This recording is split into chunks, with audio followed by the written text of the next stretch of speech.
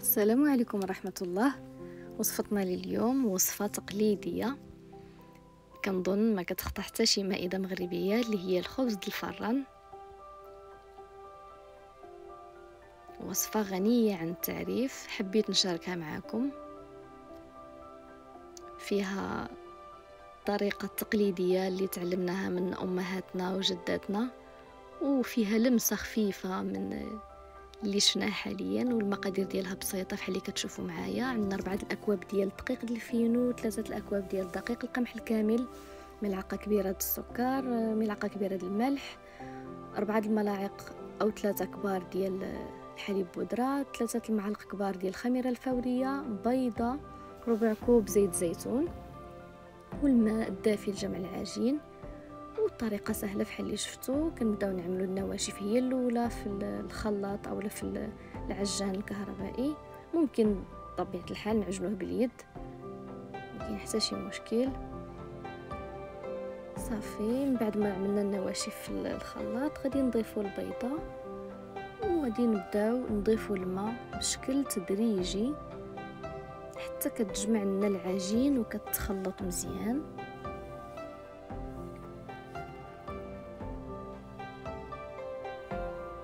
تقريبا الماء احتاجت أربعة الأكواب ونصف حتى لخمسة الأكواب. ما يعادل واحد لتر من الماء الدافئ. لتر لتر تقريبا ومية الملي يعني بالتقريب. بحال كتشوفوا كنبدا نسرع لها شويش السرعة كنزيد لها في السرعة. وملي كتوصل لهذا المستوى هذا ديال العجين كنضيف زيت الزيتون ونكمل العجن اولا الدلك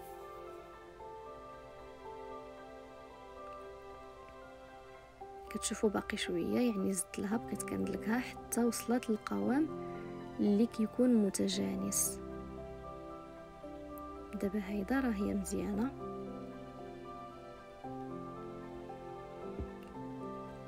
كدير نعملو لها شي شويش ديال الزيت على الوجه باش ما تعملش ديك التشققات ونغطيوها مزيان بالبلاستيك الغذائي ونخليوها في مكان دافي كتخمر على راحتها. ملي كيكون الجو دافي تقريبا ما كتاخذ شي وقت طويل. ربع ساعة نصف ساعة كتكون وجدت.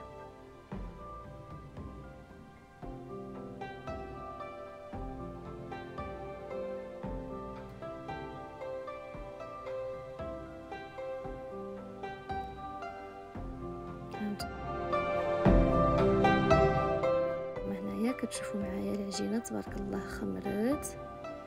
ضاعف الحجم ديالها يمكن جوج مرات أو ثلاثة.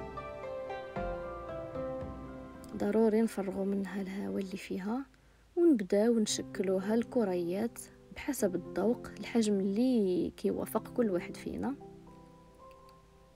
إما نقدروا نعملوا أصلا نقدروا نعملوا حجم عائلي يعني خبيزات كبار فحال اللي ولفونا أمهاتنا الله يعطيهم الصحة. اولا نعملوا خبيزات صغيورين يعني فرديين. أنا هنا اخترت نعمل جوج ديال الأحجام حجم متوسط تقريبا استعملت الميزان غير باش نوضح لبزاف ديال الناس اللي كيسقسيو على تقريبا شحال كتخرج لي هاد العجينة شحال كتعطيني من خبزة أو الخبزة قداش كيكون الحجم ديالها أو شحال كيكون الوزن ديالها بالنسبة للناس اللي كيتبعوا حمية أو بحال هيدا فأنا عملت هنا كويرات الحجم ديالهم 150 غرام هذا حجم متوسط.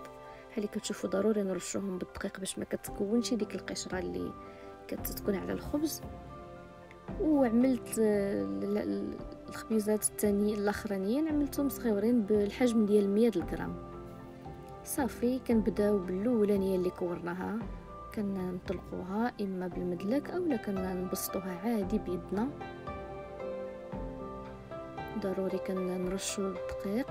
أنا استعملت الدقيق ديال القمح الكامل باش ما كتلتصق مناشي بسطح العمل.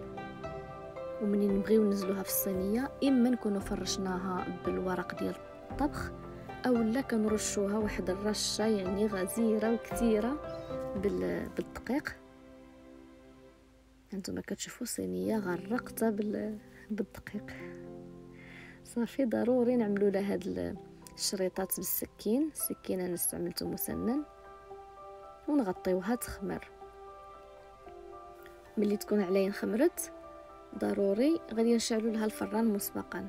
هنايا واحد شوية حبيت نزينو بالحبات ديال السمسم شوية غادي نزينو بالشوفان.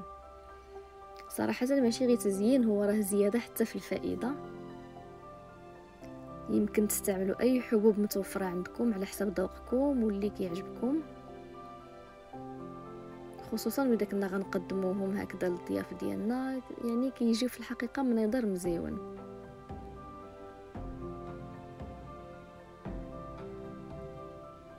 بحال اللي كتشوفوا هنايا الفران سخنته على درجة عالية 455 فهرنهايت يعني كتجي تقريبا شي 225 درجة سلسيوس ضروري كتكون الحرارة عالية الخبز هو ما شاء الله خمر.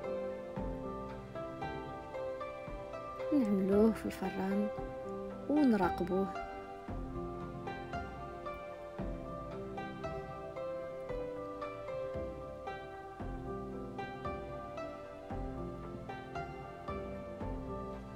هنايا قلت ارى نجرب الفران عندي واحد الفران ديال نينجا اير كريسب فيه الخاصية ديال الخبز. هذا بالنسبة مثلا للناس اللي غادي يبغيو يعملوا غير كمية قليلة الخبز يعني غير الثلث ديال هاد الكمية ديال المقادير اللي عطيت لكم أو لا يمكن غير النصف. وديك الصوينيه ديال ديك الفريرين راها كترفد لنا خمسة د الخبيزات من ديك الحجم ديال 100 الغرام. يعني إلا بغينا شي شي نهار دغيا دغيا مزروبين ما نعملوش يعني كمية كبر بحال اللي عطيتكم اولا كبر من اللي عطيتكم يعني كل واحد على حسب احتياجاته. فهذا كيفي بالغرض صراحة. الحرارة ديالو عملت على 425 درجة لأنه ماشي عالي بزاف فبالتالي اذا كانت الحرارة عالية غادي يسخن بزاف ويقدر يتحرق لنا الخبز من الوجه قبل ما يدخلوا الطياب. اللهم 425 درجة كافية وتقريبا ما شي وقت طويل يقدر يكون شي 15 دقيقة ما شي 20 دقيقة كان كان موجود. والنتيجة جات هي هي سواء في الفران ديال الغاز أو لا في هذا الفريران هذا الفريران العجيب.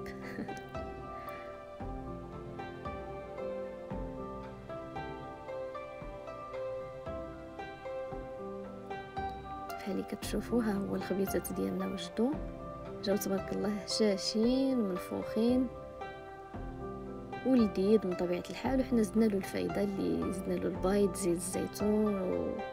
وحليب البودرة.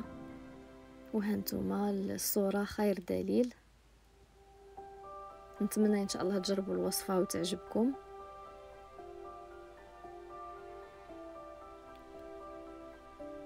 طبعا كلامي موجه للناس اللي ما ماشي موالفين بالعجن يعني غير زعما وعجنو راه ساهل ماهل ما يحتاجش يعني شي حاجات كثيرة ولا مقادير غريبة يعني كل شيء سهل.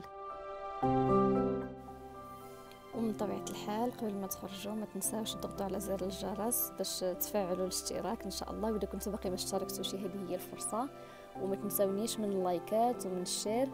وإن شاء الله دائما على خير وبخير والسلام عليكم ورحمة الله.